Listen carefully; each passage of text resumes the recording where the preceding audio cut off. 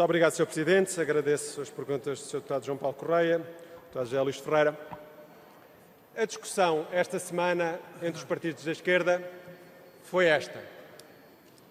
Casamos ou somos só amigos? Esta foi a discussão entre Vossas Excelências. Somos só amigos não é suficiente para casar, até gosto dele, mas não é suficiente para casar. Mas os senhores enganam, enganam, os, querem enganar os portugueses. Porque os senhores casaram num casamento original, porque com, com muitos nubentes, numa cerimónia envergonhada, mas que eu que não tive intervenção sei a data. 10 de novembro de 2015.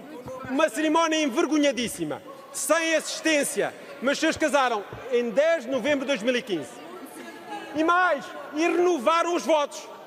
Renovaram os votos. Renovaram os votos em 16 de março de 2016, renovaram os votos em 29 de novembro de 2016 e voltaram a renovar os votos em 27 de novembro de 2017. Vejam lá, os senhores que andam a dizer que não querem casar, os senhores gostam deste casamento, quiseram este casamento e vão continuar este casamento. Só que os senhores não querem assumir publicamente, porque se sentem envergonhados. Sentiram-se envergonhados na assinatura, sentem-se envergonhados agora, porque sentem-se envergonhados com o que os portugueses estão a sentir dia a dia. Com as manifestações terríveis de dificuldade que os portugueses sentem. E isto é o que os preocupa, Sr. Deputado. Os. Deputados, como disse, param em 2015. O Sr. Deputado João Paulo Correia iniciou algumas das questões que têm feito hoje. Agora, mas, Sr. Deputado, se assim é, porque é que nós temos esta convulsão social? Porque é que temos greves? Nós tivemos, de facto, greves, mas as greves não eram por causa dos serviços públicos, essencialmente. E nós temos, efetivamente, hoje em dia, greves pelos serviços públicos, dos próprios tribunais, todas as instituições missões em barda na, nos hospitais, nos centros de saúde. E porquê, Sr. Deputado? Porque os senhores fizeram uma opção. Fizeram uma opção que têm que assumir. Inicialmente, cativaram e cortaram sempre o investimento público. E esse corte de investimento público tem uma consequência.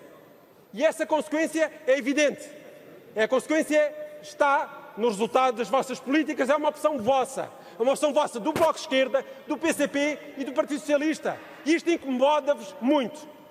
Hoje mesmo saiu uma notícia, hoje mesmo saiu uma notícia, ainda a propósito de serviços públicos, do Tribunal de Contas Europeu, que alerta para a lenta execução dos fundos comunitários. Vejam bem, Vejam bem, aquilo que o Sr. Primeiro-Ministro dizia para justificar o mau investimento público, dizia para justificar o mau investimento público em 2016 foi uma questão de transição.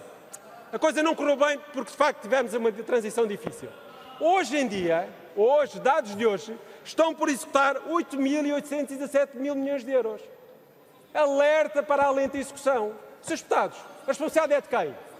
É que nós não nos envergonhamos, Sr. Deputado Zé Luís Ferreira, do que fizemos. Nós temos muito orgulho. Nós temos muito orgulho do que fizemos. Nós resgatámos o país temos o país a crescer temos o país com menos desemprego. Orgulhamos mesmo muito e não temos problemas nenhums, nenhums em assumi-lo. E os portugueses também, pelos vistos, gostaram do nosso trabalho. E os senhores o que os preocupa é, e por isso é que fizeram este casamento, envergonhado, porque os senhores pensam bem se Pedro Passos Coelho governou como governou, com austeridade e com dificuldade, se conseguiu pôr o país a crescer, imaginem contra a conjuntura.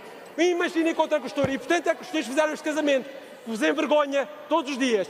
Por isso é que o vosso secretário-geral, a, a, a deputada Catarina Martins, ao fim de semana, vêm sempre dizer que não estão contentes. Mas aqui, todos os dias, os senhores gostam do casamento. Os senhores adoram este casamento e querem apostar que os senhores vão continuar casados até ao final desta legislatura e, se Deus quiser, espero bem que não, que os portugueses não vos deem a oportunidade para continuarem casados a partir do próximo ano. Muito obrigado, Sr. Deputado.